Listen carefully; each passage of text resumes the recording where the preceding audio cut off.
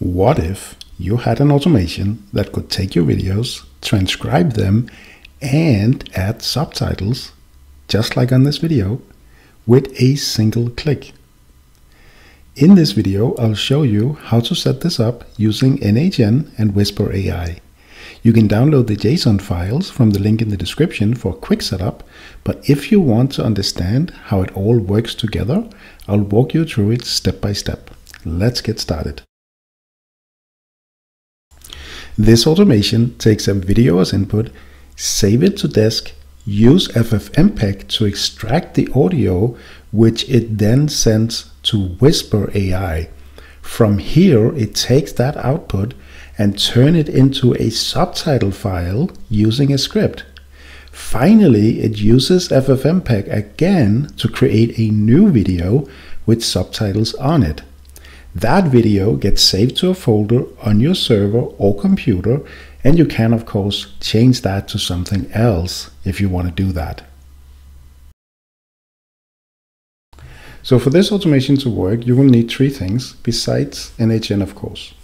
First of all, you'll need Whisper AI. I have this installed on my server and I'm using the large distilled version 3 model and therefore it is pretty much free to use except electricity.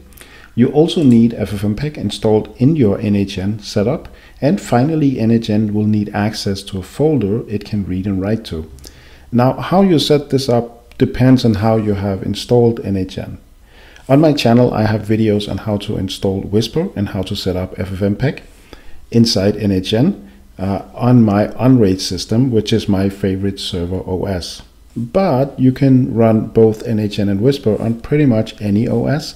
This setup process might just look a little bit different. For the share to store the temp files, again, it depends on your setup, but if you have it installed on a server, you want to create a share and then give N8N access to that, like I have done here. If you're using uh, Unraid or something similar, the path is typically mapped differently inside the container than the actual path. So as you can see here, mine is named Scratch. This is just something to keep in mind uh, when you set the path inside N8N. If you downloaded the JSON file and just want to get started as fast as possible, here's the bare minimum you'll have to change. Open up settings and set the correct path in this node. I suggest adding a subfolder just to keep things organized. Next, enter the URL and port to your Whisper server in settings as well. Then open up this node here, read and write files from desk. Again, you want to put in your path and you want to append it with upload.mp4, just like I have done here. And that's it. Once this is done, you can upload a video and run the automation. But stick around and I will show you how everything works and how to edit the look and feel of the final video.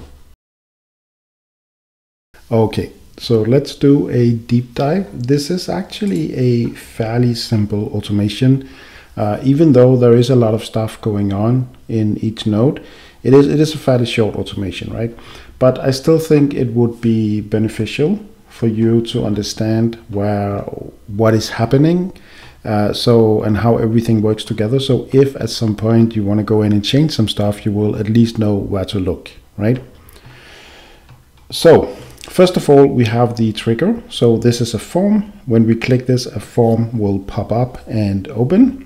And we can actually do that, right? Let, us go ahead and, and run this. So let me select this one and click submit. And as you can see, it will start running here in the background.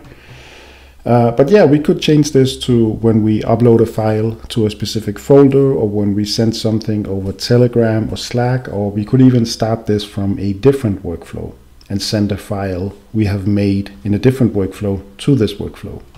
So there's a lot of options here. This is just one way of doing it, right? Next, what, what is happening is it will take this video file and save it as upload.mp4 in our Scratch folder then we have the settings we just went over. And next it actually goes and rename the file. So what this is doing is it's taking uh, the file and then it renames it to input.mp4. And you might think this is a little bit redundant because why don't we just call why don't we just call it input.mp4 from the beginning here? And the only reason is that if you want to run this uh, from so let's keep it super simple here and say that what you want to do is you want to be able to take a video file, drag it into the folder, and then manually run the automation. If you want to, if you you want to do that, you would set this.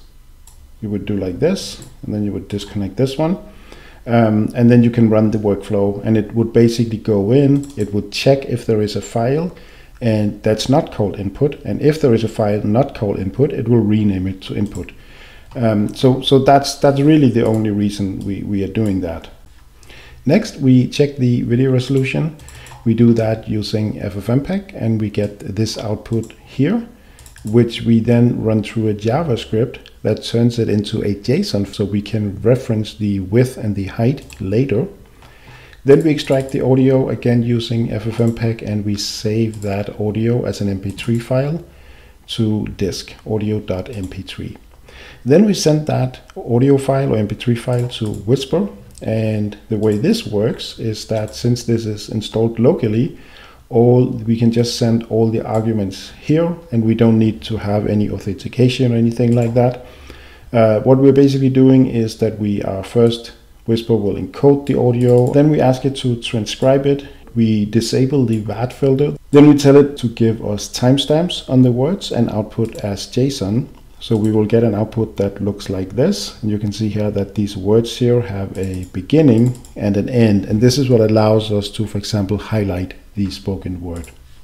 And then we have a JavaScript here. The, this JavaScript uh, has some settings. They are all in the beginning here, which you can play around with. Uh, they are pretty self-explanatory and there are comments for all of them. So I, am sure you can figure out what these do, but there are just a couple I, I want to touch on really quick.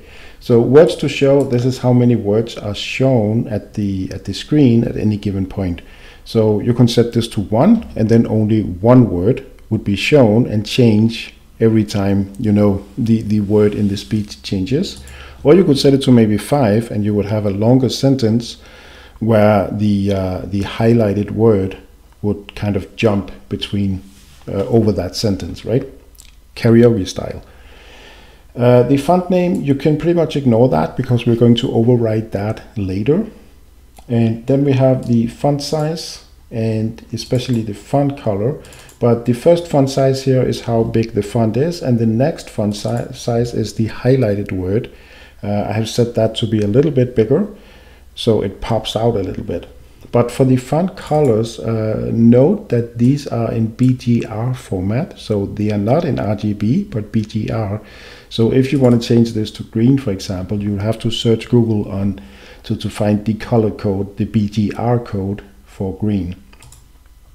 And the same with all the other co colors, right? Uh, and the other thing I quickly want to touch on is this Mac max gap time. So this is how long uh, a, a pause should be in your speech before the subtitles disappear. But if you set this to 1, it would probably result in flickering subtitles. And if you set it to like uh, 10,000, uh, you would, if, if you had a long pause where no one was speaking, the subtitles would kind of stay on the screen for a really long time. So you might want to experiment with this until you find what works for, for your speech pattern. Next, we save the subtitle file to disk, and then we use FFmpeg to combine the video and the subtitle file. And this is also where you overwrite the font uh, I talked about just before. So you have the font name. The way this works is that in your folder for this automation, you want to create a folder called fonts and you want to put in a font you like, you can maybe you can find a font on dafont.com, for example, put it in here, and then you you just whatever this is called, Dynapuff in this case, you want to put that in here, and then it will will use that font, override with that font. Once it has done this, it will save the video and then finally it will clean everything up. And what that means is that it will take all the files except the final and put them into the temp folder and they will stay here until the next time you run the automation when they will be overwritten. And the reason we are not deleting them right away is just so you can go in if if there is an error or something is not working, you can go in and you can for example check the subtitle file, you can check the audio file, etc., etc. But that's it. That's how the automation is working. So that's it. A simple but powerful automation which will hopefully save you a lot of time doing this yourself or a lot of money or credits in JSON2Video or whatever you used previously to generate these subtitles. One way you could use this is to generate these short AI videos for YouTube or TikTok with a voiceover and then run that video through this automation to give it that extra little something, you know? And if that's something you want to do or already are doing, go check out my video on ComfyUI which is a tool that you can use to create AI images or videos on your own computer or server. It's actually pretty awesome. But with that said, if you found this helpful, consider liking and subscribing to stay in the loop. Thank you for watching. Bye bye.